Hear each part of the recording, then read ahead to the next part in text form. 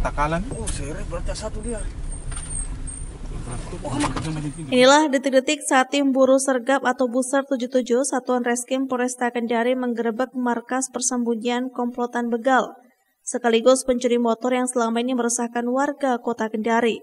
Dalam rumah ada empat pelaku, tiga orang berhasil diringkus masing-masing bernama Rizky, Sahrul, dan Fajrin.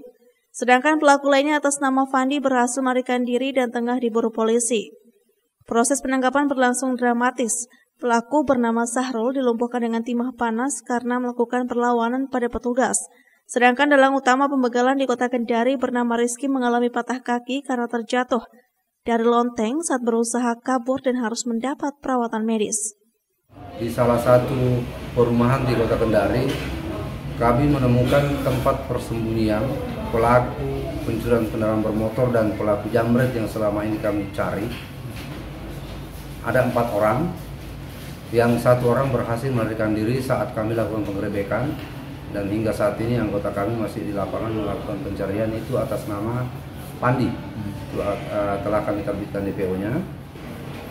Kemudian tiga tersangka kami uh, tangkap walaupun butuh waktu untuk melakukan pengejaran. Karena para tersangka ini dia naik di atas rumah dan lari di atap-atap rumah warga. Dalam penggerebekan itu, polisi juga menyita lima unit sepeda motor hasil curian, sejumlah rangka kendaraan bermotor, dan satu unit mobil minibus yang dijadikan sebagai kendaraan para pelaku dalam menjalankan aksinya. Saat ini dua pelaku telah mendekam dalam penjara, sementara Rizky tengah menjalani perawatan di rumah sakit Bayangkara Kendari. Polisi pun telah menetapkan pelaku lainnya bernama Fandi yang kabur sebagai daftar pencarian orang. Akibat perbuatannya, para pelaku dikenakan pasal 365 KUHP tentang tindak pidana pencurian dengan kekerasan, ancaman hukuman paling lama 9 tahun penjara. Sylvia Sakia, Kompas TV Kendari, Sulawesi Tenggara.